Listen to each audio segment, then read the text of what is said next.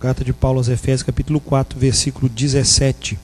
Diz assim o texto sagrado: Isto, portanto, digo, e no Senhor testifico que não mais andeis como também andam os gentios, na vaidade dos seus próprios pensamentos, obscurecidos de entendimento, alheios à vida de Deus, por causa da ignorância em que vivem, pela dureza do seu coração os quais, tendo se tornado insensíveis, se entregaram à dissolução para com avidez cometerem toda sorte de impureza. Mas não foi assim que aprendestes a Cristo, se é que de fato tendes ouvido e nele fostes instruídos, segundo é a verdade em Jesus, no sentido de que Quanto ao trato passado, vos despojeis do velho homem, que se corrompe segundo as concupiscências do engano, e vos renoveis no espírito do vosso entendimento, e vos revistais do novo homem, criado segundo Deus, em justiça e retidão, procedentes da verdade. Oremos. Pai, em nome de Jesus, abençoa-nos com o poder da tua palavra e que este poder possa permear profundamente os nossos corações, pois o teu Espírito tem esse poder de agir nas nossas vidas assim. É em nome de Jesus que te pedimos isso. Amém. Amém. O Alan, quando estava falando aqui sobre o clamor da igreja, que não faz clamor, é só a nossa, filho. Qualquer igreja batista, quando faz clamor, grita. Eu só conheço a nossa que não faz clamor aqui. O clamor é mudo. É aqui só. É, a reunião de pastor batista, tudo batista. Se juntou dez pastores, fizeram, vamos fazer um clamor, todo mundo começa a orar. Aquele, vamos fazer um clamor. É a nossa igreja que tem esse cacuete. Que eu conheça, é só ela. A do Urubici, clamor é barulhenta, a do Campeche, que era pastor, clamor é barulhento, a do Estreito que eu vim, clamor era barulhento. Mas nós aqui, não sei o que aconteceu aqui na igreja, eles são tímidos. povo reservado, um povo diferente. Né? dizendo para tu não pensar que isso é privilégio dos, do, como é que é, dos pentecostais, não, cara. Clamor é para todo mundo orar junto. Mas não, não sei o que, que tem aqui na igreja. Eu já estou quatro anos, já disse o que, que é, eles não, não conseguem entender. Acho que falta entendimento. Vamos ver se nós hoje abrimos a cabeça para isso. É? Nós acabamos fazendo uma distorção do que é verdade para aquilo que não acrescenta. Como que isso age? O texto sagrado diz para nós em cima da conduta nossa. Veja bem, a conduta ela é elementar e se ela não tiver um processo dessa ação de conduta, não podemos ser, agir ou defender a tese da santidade diante de Deus. Como assim, pastor? Você vai ver que Paulo, quando escreve nesse pequeno contexto, ele está trazendo duas formas de entendimento paralelas, mas totalmente opostas. Duas formas paralelas, mas totalmente opostas. E opostas em sentido e conduta. Por quê? Versículo 17.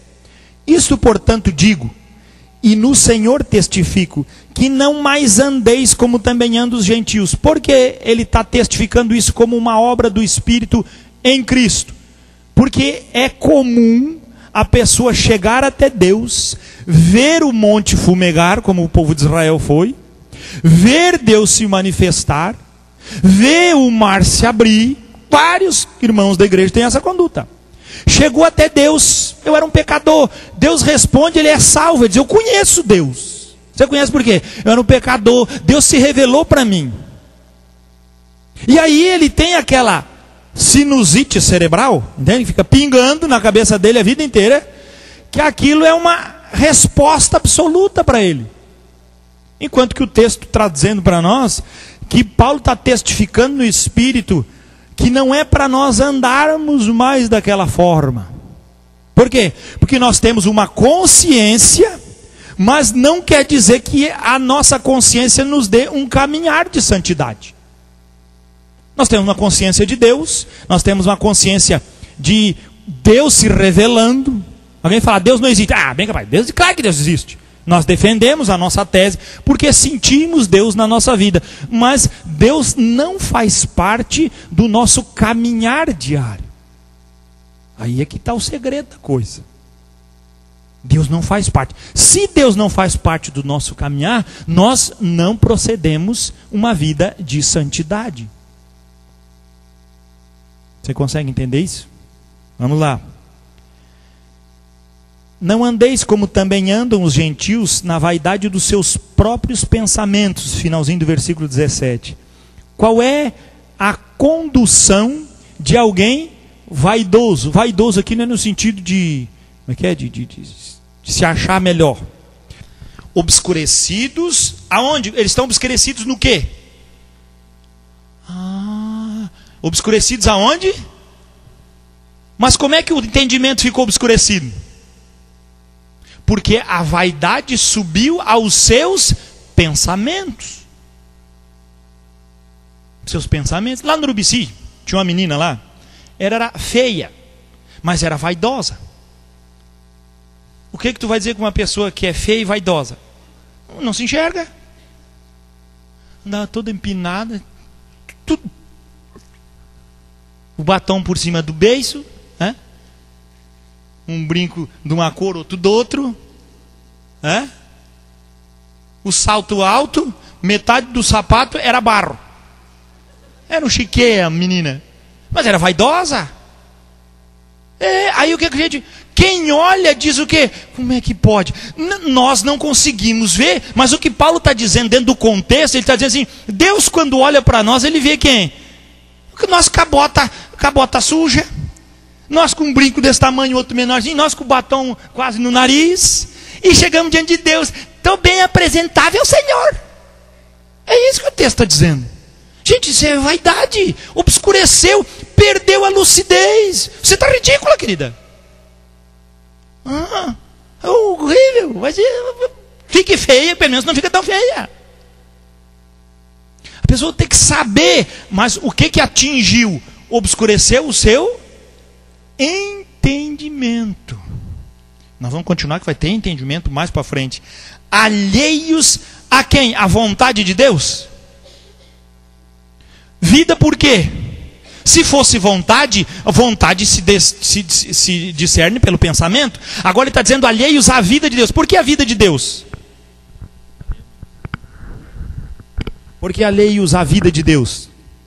Por uma coisa só. Vida é algo que nós usufruímos todo o tempo. Tem como você dormir sem vida? Se acordar sem vida, trabalhar sem vida, vir para a igreja sem vida? Não, é algo que se tem e se usa dela todo o tempo, ou não é? Ou seja, a conduta do cristão, ela é permeada pelas suas, os seus passos menores possíveis. A sua conduta, a mais insignificante possível. A menor de todas. Porque a obra de Deus se manifesta na vida de um cristão, não é sempre. Vamos pegar. Jesus. Jesus viveu quantos anos aqui na terra? Como foi sua vida diante de Deus? 33, quase 34 anos na presença de Deus. Útil para Deus, quanto tempo? 33 anos. Agora, visível a manifestação de Deus. Quanto tempo? Três anos e meio. Três anos e pouquinho, quase quatro. Você entende? O grande servo de Deus, Moisés, quantos anos ele viveu? 120 anos. Sabia que Deus era o Deus, sabia que Deus ia libertar o povo, sabia que ele era o mensageiro de Deus para ser o agente para salvar aquele povo de lá. Quanto tempo Deus usou ele? 40. E os outros 80? Sem serventia nenhuma. O grande pai da fé, Abraão, quantas vezes a gente olha assim, puxa, Abraão caminhou com Deus, era amigo de Deus. Se você contar, irmãos, Abraão não teve 10 encontros com Deus na sua vida toda, de 175 anos. Mas ele deixou de ser Abraão? Ele deixou de ser amigo de Deus? Gente, Abraão toma por consciência o que é normal no meio por conselho de sua esposa, toma sua serva Agar, gera um filho, mas você vê Deus condenando? Abraão, eu vejo um monte de pastor hoje dizendo Abraão fez aquela burrice e a coisa aconteceu assim mesmo. Abraão, é claro, se a se serva de canela grossa, Abraão não resistiu aos ferimentos. É a boa ideia da mulher. Se fosse aquela dormicia, duvido que ele ia resistir. Não, minha, tira da cabeça a ideia, coisa ruim, ideia ruim essa aí. É? Agora o que, que ele quis ajeitar? Agora Deus disse para ele: ah, bonito, hein, Abraão? Tu não acreditou em mim, hein, Abraão? Bonito, hein, Abraão? Deus em todo o tempo trata Abraão referindo-se a Abraão e ao filho da promessa. E quando ele vai pedir o seu filho Isaac, ele diz: Ô oh, Abraão, dá-me um dos teus filhos para sacrifício. O que, que ele diz? Abraão, estou te pedindo hoje, o teu filho Isaac, vai a Moriá e sacrifica para mim. O teu filho Isaac, o teu único filho. Filho da promessa. Por que, que Deus não viu os outros filhos? Abraão teve um monte de outros filhos. Ou não teve? Depois teve Quetura, mais uma penca. Por que, que Deus só tinha olhos para um? Porque esse Abraão teve quando? Na presença do Senhor. Quando nada poderia mais dar, então o Senhor fez. Por que, que Deus não deu bola para os outros filhos? Porque os outros filhos, amado, todo mundo podia gerar assim como Abraão gerava. Mas o da promessa era alguém que o céu desceu sobre a vida de Abraão e a estéril Sara, que pela fé teve um filho depois de velha. Quem que viu isso? Para Sara, Deus aparece duas vezes conversando com ela.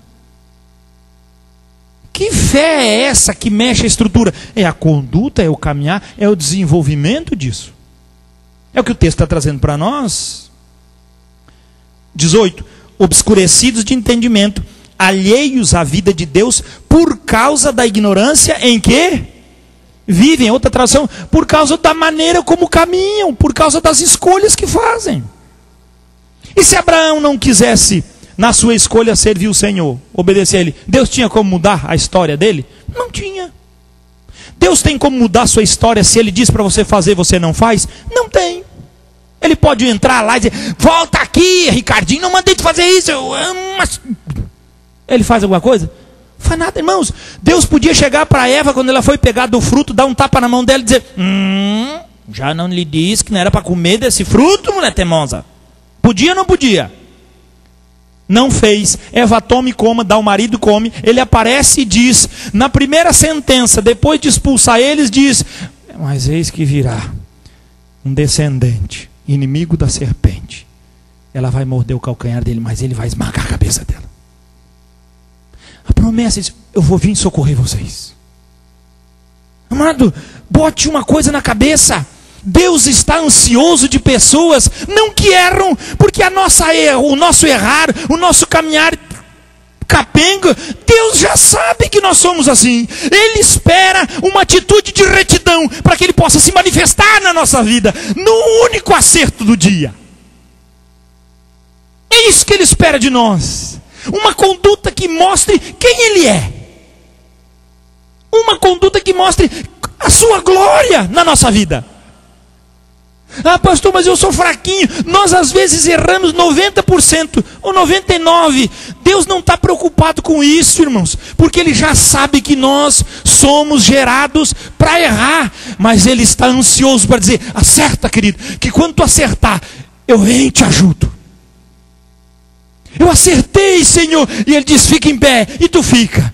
Nossa, está acontecendo coisa sobrenatural. Por quê? Porque eu acertei um pingo. Agora vai, filho. Aí daqui a pouco nós saímos do caminho. E ele volta, vem de novo. Quando estava aqui eu podia fazer. Eu me manifesto. A minha glória está presente. Aí tu volta, mais uma vez Deus faz. Essa é a intenção de Deus para nós. É isso que Paulo está dizendo aqui nesse contexto, irmãos. Uma vida que se manifesta, uma conduta absurda para que possamos usufruir o que? Da vida de Deus. O que, é para usufruir, irmãos? A vida de Deus. Que vida doida.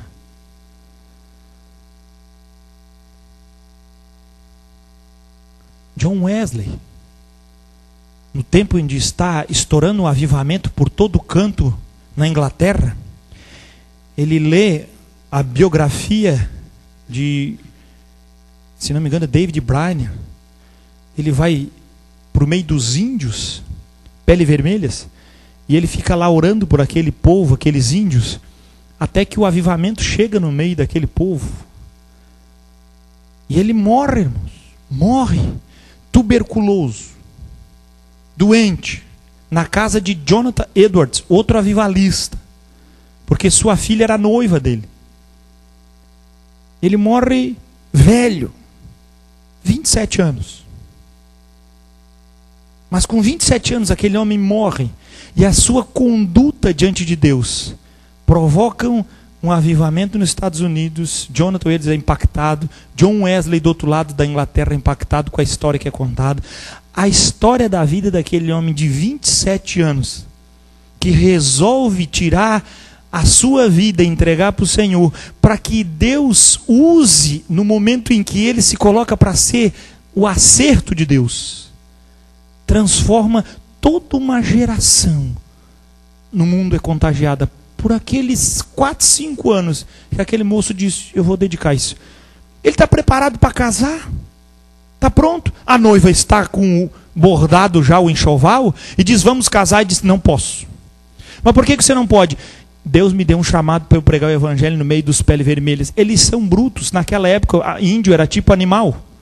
Eles não conseguem, eles não conseguem entender Deus. Ele diz: "Não, Deus disse que é para lá. Tu não fala a língua deles, tu não entende eles, tu não come a comida deles, o que tu vai fazer?" Eu vou para lá. Deus fez. Ele chegou naquele lugar lá e ficou orando pelo povo uma semana. Os índios ficaram com pena dele, porque ele só ficava orando, fizeram uma uma oquinha aquela de couro, que nem naqueles filmes americanos mesmo. Eles faziam aquilo, né? eles eram Aí o povo era o nômades, o povo saía dali para outro lugar, ele ia junto atrás. Casa nas costas. Montava e ficava lá orando.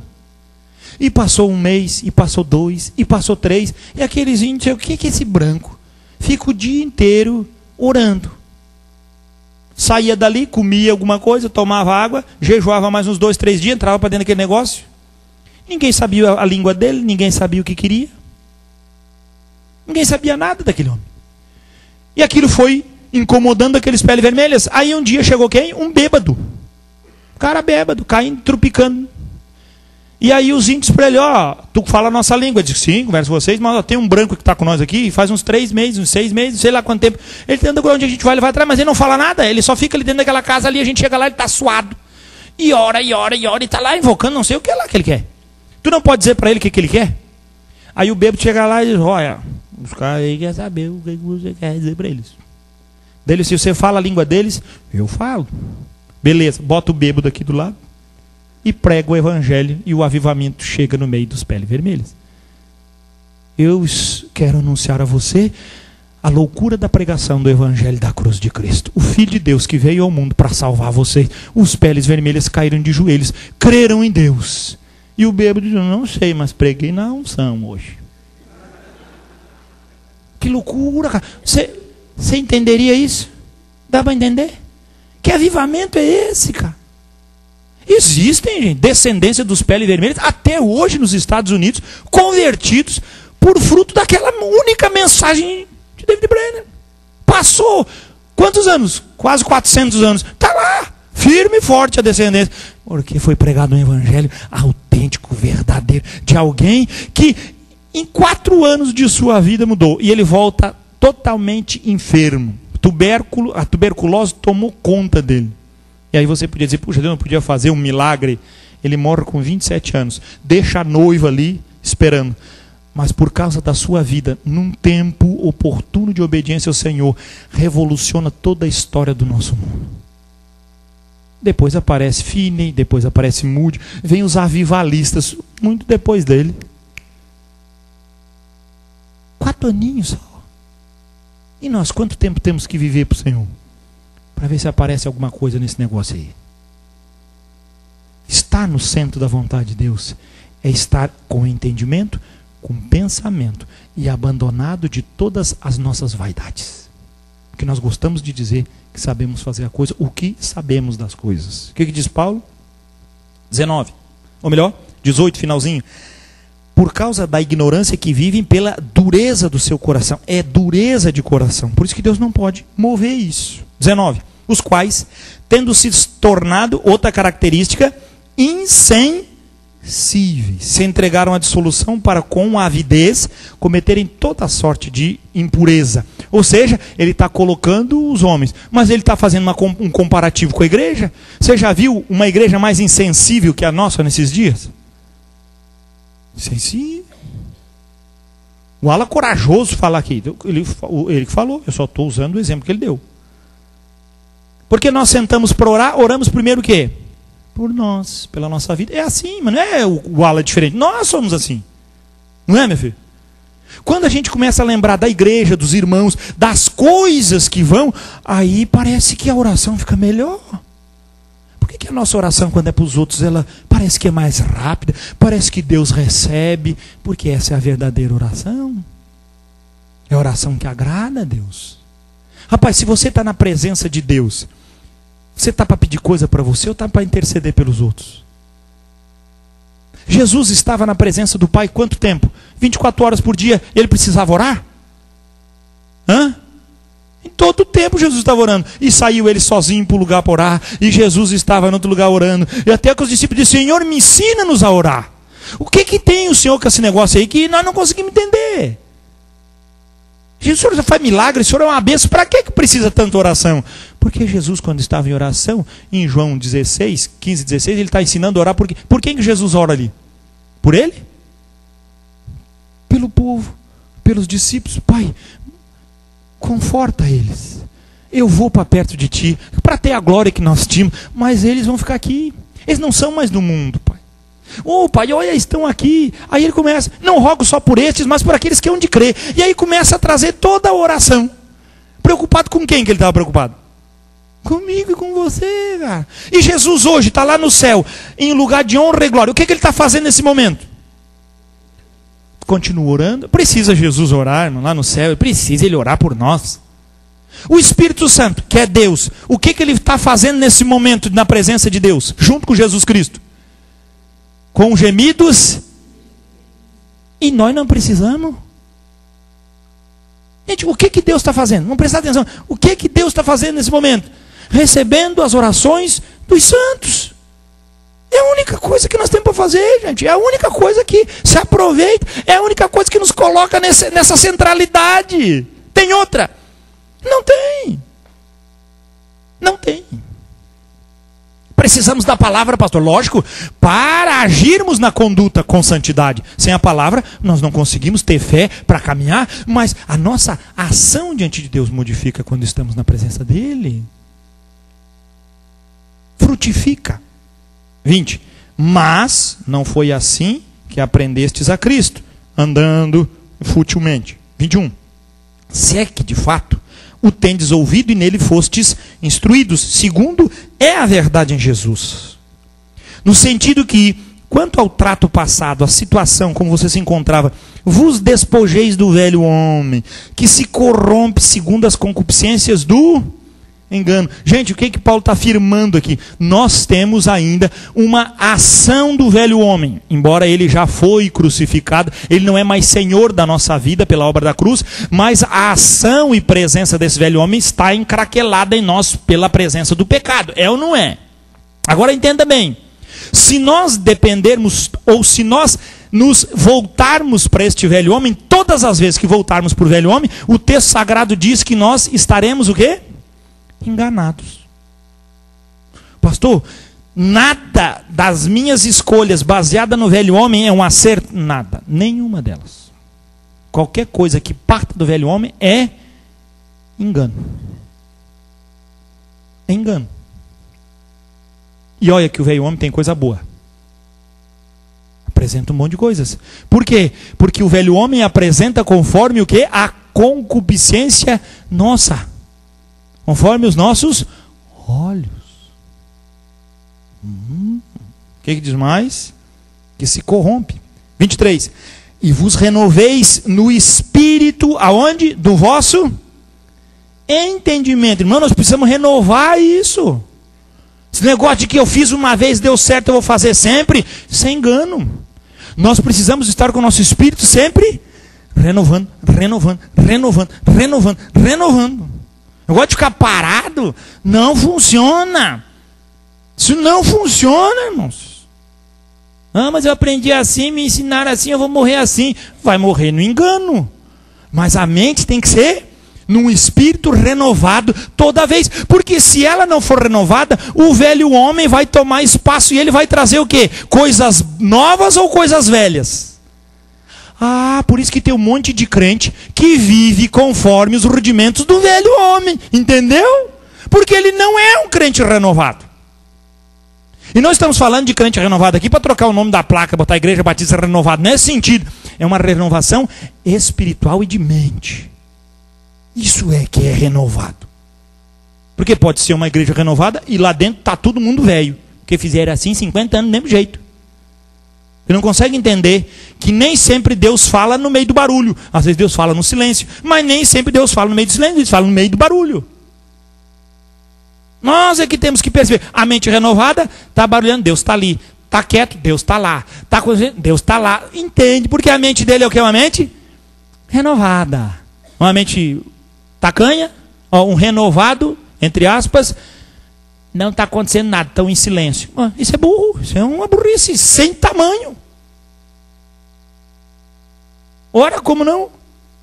Define pelo que ele experienciou com Deus o que Deus está fazendo ou não está. Ah, vai tomar banho, cara. Quem, quem é tu para dizer o que, que Deus está? Uma mente renovada, ela é sempre surpreendida pelo poder de Deus. Isso que é a verdade. que mais diz? 23. E vos renoveis no espírito do vosso entendimento. 24. E vos revistais do novo homem, criado segundo quem? Participa o que desse segundo? Se você se revestir do novo homem criado segundo Deus, em vez de engano, o que, você vai ganhar?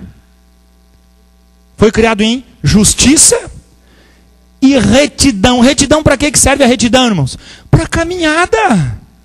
Procedentes da onde? Do engano? Procedentes da onde? Da verdade.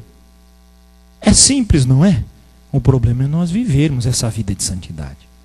O problema é nós usufruirmos essa vida de santidade. O problema é nós deixarmos Deus renovar nossa mente. Esse é o problema. É problema de Deus? Não é. Conheci um rapaz uma vez que disse: Ah, pastor, eu não podia olhar uma mulher, eu tinha um problema assim na minha área sexual tremenda. Mas um dia eu fui na igreja, recebi uma oração, eu senti no meu corpo como se um espírito maligno saísse de mim. Eu disse, glória a Deus, meu querido. Agora eu não era mais atraído como eu era antes. Aquela coisa ruim que me levava para o pecado, me levava para saiu de mim. Eu disse, louva a Deus. Mas, pastor, eu descobri que os meus olhos continuam igual, continuam desejando. E mesmo que eu tenha como ter, não quero mais, porque eu não tenho mais aquele aspecto de sensualidade, de contato, de carnalidade. Mas os meus olhos continuam desejando. Aí eu disse para ele, sabe por quê, meu filho? Porque o que era espiritual, Deus resolveu. A concupiscência dos olhos é você que tem que dar o limite. Olha o que diz o texto. Se você renovar sua mente, os teus olhos serão a candeia do coração, não é Jesus que disse? Se o teu coração tiver em trevas, todo o teu corpo está em trevas, mas se ele tiver luz, ah, então toda a tua alma. Eu disse, isso não é, adianta ficar jejuando e orando para que os teus olhos mudem, meu filho. Começa a orar para que Deus mude a tua mente e renove ela, botando coisas na tua cabeça. Umas duas semanas depois ele voltou para falar comigo.